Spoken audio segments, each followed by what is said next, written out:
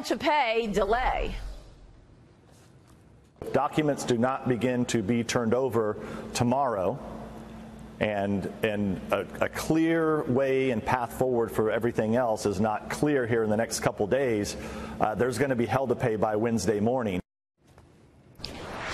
House Intelligence Chairman Devin Nunes with me last Sunday on Sunday Morning Futures on Fox News. He had a warning that if he does not receive certain documents from the Department of Justice regarding both the Clinton email and Trump Russia investigations, uh, it is uh, not just Chairman Nunes pressing the Justice Department for these documents. House Speaker Paul Ryan also voiced his support in getting the information. I am supportive of making sure we get the documents we rightly deserve, that we legitimately requested. We expect compliance. Um, I'm still getting daily reports from our committee chairs about the, the, the progress on compliance. I'm going to regroup with them tomorrow but I expect them to comply with all of our very legitimate document requests because this is legitimate congressional oversight of the executive branch. Joining me right now is Alan Dershowitz. He is Harvard Law Professor Emeritus and author of The Case Against Impeaching Trump. Alan, good to see you this morning. Thanks so much for joining us. Thank you. So, just to be clear, Devin Nunes is looking for any documents, and Trey Gowdy as well, any documents that relate to the Trump Russia collusion investigation, which was which was launched in July of 2016. They want to know what intelligence was used to launch such an investigation and any documentation going into that investigation. You heard Devin Nunes on Sunday. He said hell to pay if the documents aren't there. He said. I'm willing to go all the way, meaning contempt. What do you say about this? Obviously, House GOP members getting frustrated that they legally hold a deputy, AG Rod Rosenstein, in contempt if he does not hand over these documents. Well, they should be outraged at this. Uh, the system of checks and balances require that the executive branch cooperate with legislative oversight. There's never been a more important time in our history for checks and balances to be operating whether it's regarding President Trump's immigration policies, where we're seeing checks and balances in play, and whether it be the investigation, the Mueller investigation, or even the investigation that preceded that.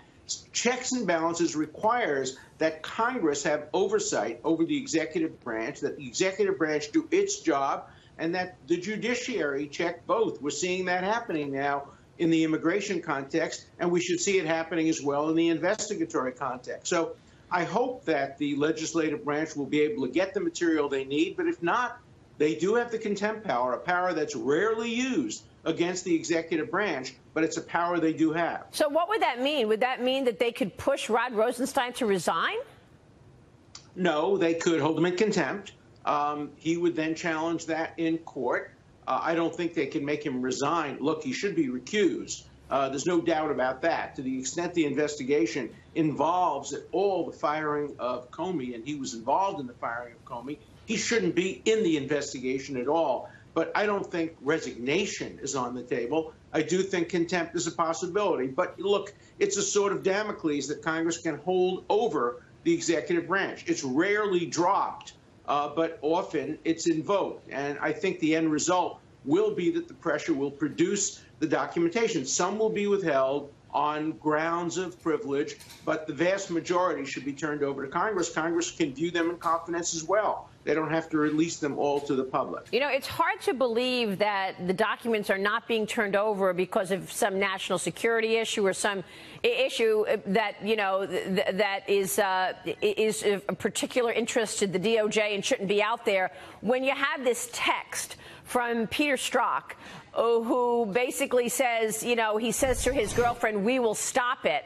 And this text happened on August 8th of 2016. Four days later, we get the other text that says we need an insurance policy. We've had the insurance policy text for months, and yet we're just getting this one now and, and, it was and it was and it was sent on August 8th, 2016. So why were they not handing over this text until the IG report had to hand it over? You know, it's well, like that's not national security. That's just something that would embarrass Peter Strzok. We will stop it and well, and lead people I, to believe that he was biased enough to actually dictate his behavior as the guy running the investigation. Look, in my experience, and I have long experience in this, the vast majority of claims of national security are really designed to cover up embarrassment or they're designed for political advantage. National security is used as a cover to prevent disclosure of information that might be embarrassing. Uh, there's no question that that tweet or that message saying we will stop, stop, that sounds like an attempt to interfere with an election by members of the Federal Bureau of Investigation, a person who has a particularly high role in the FBI. Even if he didn't mean it, saying something like that, that he would stop the election. Look, I try to stop the election of President Trump by voting for Hillary Clinton, and by contributing to Hillary Clinton. That's a legitimate way of trying to prevent his election. But when the FBI agent says he's going to stop it, that sounds like collusion at the highest level and an attempt to improperly interfere with a legitimate election. Congress is entitled to know everything about that in real time. And I'm not satisfied with the excuses they gave for not turning over that very important communication about stopping the election of President Trump. Yeah, I mean, after all, Peter Strzok took over running the investigation into Trump collusion in, on July 31, 2016. Eight days later, he sends that text. He's the guy running the investigation, and he sends the text, we will stop it. Now, Attorney General Jeff Sessions says that Strzok has lost his security clearance. Will that be the only penalty he faces? He was obviously escorted out of the building. What's your take on the accountability here? I don't understand why Strzok still has his job.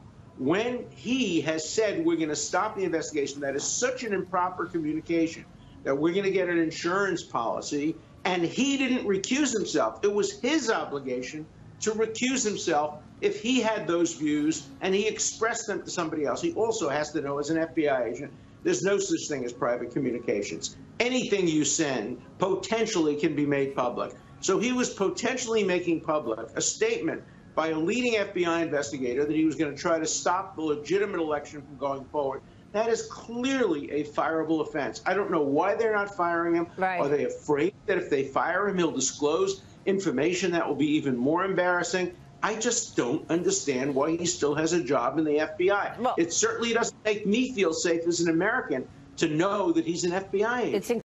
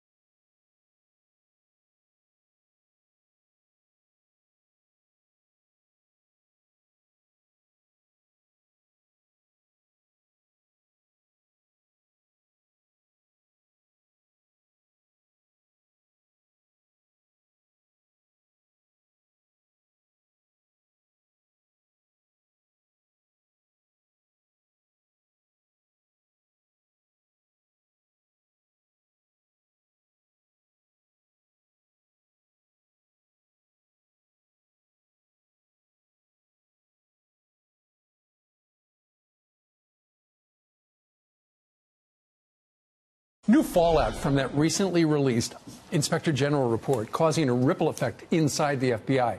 Embattled anti Trump FBI agent, that guy right there, Peter Strzok, who texted that he would stop Donald Trump from becoming president, apparently has lost his security clearance.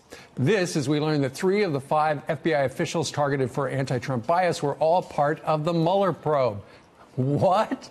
Here with the reaction, founder and executive director of Turning Point USA, Charlie Kirk. Charlie, uh, not surprising that Peter Strzok would lose his security council. I mean, he was escorted out of the building a couple of days ago. Well, why hasn't he lost his job? I mean, so they say that's a big deal that he lost his security clearance. I mean, he should have been fired instantaneously when this stuff came out. But this just goes to show that there is an unelected, unknown a group of bureaucrats at a very, very high level of government mm-hmm. agencies that have unlimited political power. And what if we wouldn't have unearthed these documents? What if, you know, the heroes in Congress, such as Devin Nunes or Mark Meadows, wouldn't have went through this unbelievable right. effort to get these documents? This all would just would have been labeled a conspiracy theory. So we know about uh, five employees. Mm-hmm. Uh, at the FBI had these anti-Trump texts, but how many others are there? They just Precisely. didn't catch. Well, right. And how much other behavior is there that any logical conclusion can say there was probably deleted documents and you know reappropriated assignments that went against this president time and time again? And this should exonerate the president completely when it comes to the Mueller probe. Because remember, this is the very institution that started the entire fake dossier Right. that, that ended up uh, launching this this uh, investigation. And Charlie, the fact that Rod Rosenstein will not release the stuff that Congress wants to see, just so they can figure out why did this get started in the beginning? Because it does look to many on the political right, and you mentioned a couple of names uh, that have been at the forefront of this. It looks like the FBI has redacted a bunch of stuff That's because right. it, it makes them look bad. They're they're not going to hand them over the documents because it started on flimsy uh, a flimsy premise. No one should be above the law. And what you're seeing here is you see a level of government bureaucrats and agents that allow their political bias to get directly into their work. And then when they get challenged, they say, How dare you challenge our work or the integrity of the FBI?